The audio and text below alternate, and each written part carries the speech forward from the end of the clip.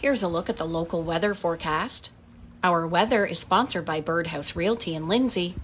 Ready to make your nest move? Partly cloudy this evening with a 40% chance of rain or flurries overnight, and we are looking at a low of plus two. Mainly cloudy on Friday with a 60% chance of flurries or rain and winds gusting to 50 kilometers an hour. We're looking at a high of 7 and a low of minus 7 overnight, but feeling like minus 11 with the wind chill. On Saturday, a mix of sun and cloud with a high of plus 1 and a low of minus 9.